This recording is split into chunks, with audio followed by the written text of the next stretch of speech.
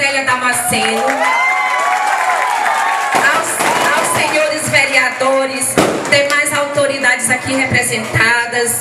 Também saúdo ao vereador Catulé, no qual a escola agora passou o nome para o nome da sua esposa, em homenagem a ela. Saúdo também ao senhor Francisco José, conhecido como Franzé, irmão da professora Maria do Rosário. Saúdo aos, meus, aos queridos gestores aqui presentes, nossos amigos, companheiros. É, eu gostaria de chamar a professora Elizabeth para estar aqui do meu lado, essa companheira de todo dia. Eu não posso terminar meu discurso sem falar, sem estar ao lado dela, porque essa mulher é muito forte, guerreira, eu já aprendi muito com ela e nós temos trabalhado desde 2017 junto. Palmas para ela.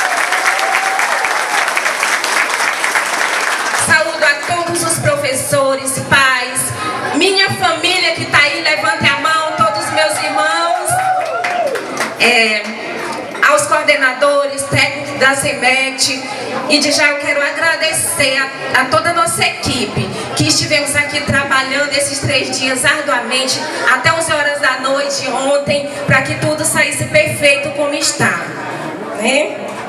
Queremos nesse momento tão especial agradecer primeiramente ao Senhor nosso Deus, né? porque sem Ele nada seríamos. Sem Deus nada seríamos. As lutas foram muitas sim, foram tantas, né professora? Eu que eu diga, foram muitas, mas até aqui o Senhor nos deu vitória, o Senhor tem nos ajudado, tem nos sustentado. É com imensa alegria e em nome da nossa comunidade, comunidade escolar do bairro São Francisco que eu agradeço ao senhor prefeito Fábio Gentil, a quem eu peço uma calorosa salva de palmas. A professora Nacélia Damasceno aqui do meu lado, engenheiros, pedreiros, a todos que trabalharam para que este sonho se tornasse realidade. Eu agradeço muito, muito de coração. E hoje nós recebemos esta linda escola que vocês estão contemplando nesta manhã. Uma escola, uma das mais bonitas de Caxias, uma escola digna, ampla, uma escola muito bem equipada, onde nós teremos, temos um laboratório de informática e robótica, laboratório de matemática, ciências, onde nós temos todos os utensílios, equipamentos, tudo, tudo, tudo novo, né? Agradecemos a nossa professora Nacélia, ao prefeito,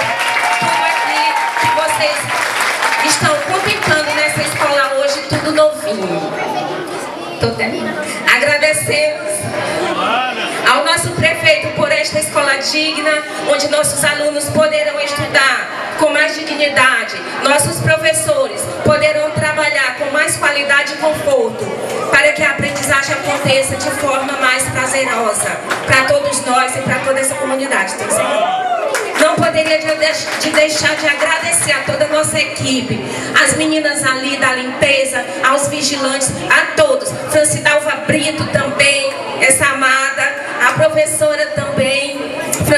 Que esteve aqui conosco, nosso braço forte. Gente, sem palavras para agradecer, desculpe, mas meu tempo terminou. Muito obrigada! Nesse momento, convidamos a secretária municipal.